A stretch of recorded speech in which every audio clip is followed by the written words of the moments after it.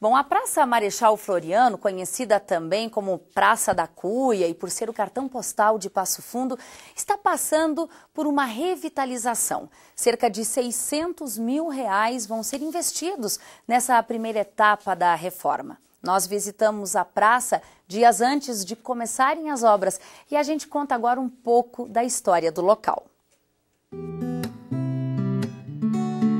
Ela foi criada nos anos 40 era conhecida como Praça da Matriz, por causa da primeira capela da cidade que foi construída em frente à praça, onde hoje está a Catedral. Era muito comum, embora ainda seja, eh, ainda aconteça, que as pessoas usassem a, par, a, a, a praça como parque, como lazer, como passeio, como brincadeira para as crianças.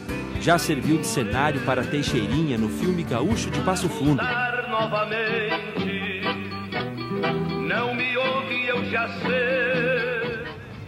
E o símbolo da cidade, a cuia, foi um presente de Jânio Quadros, quando era governador de São Paulo. A doação foi feita no dia 7 de agosto de 1957, nas comemorações do centenário de Passo Fundo. E de um tempo para cá, o local se tornou ponto de encontro de aposentados, comércio de ambulantes, reunião de jovens, mas o lugar criado para embelezar a cidade aos poucos foi se deteriorando. Ação do tempo e de vândalos.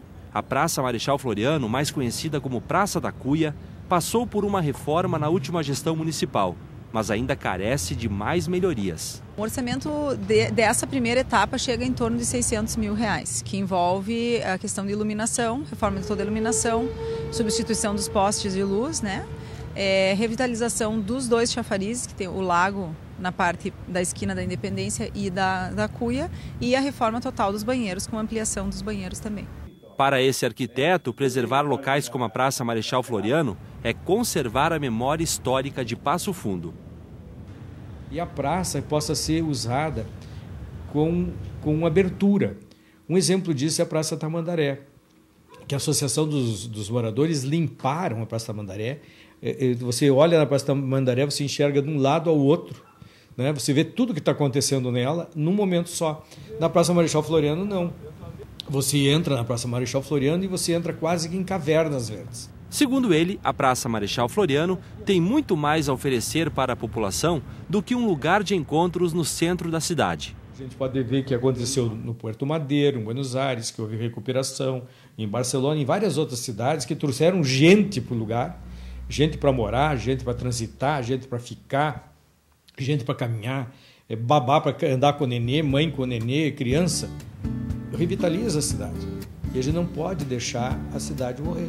Nós vamos fazer um proceder um, um, uma poda e até retirada de algumas árvores, buscando melhorar o microclima, porque, por exemplo, hoje que está um dia úmido, aqui está muito mais frio do que ali na calçada. Então isso expulsa as pessoas de permanecerem dentro da praça, que é o nosso interesse, né?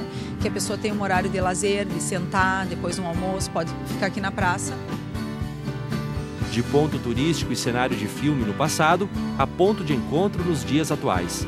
São lembranças que fazem da Praça Marechal Floriano um ponto de referência em Passo Fundo.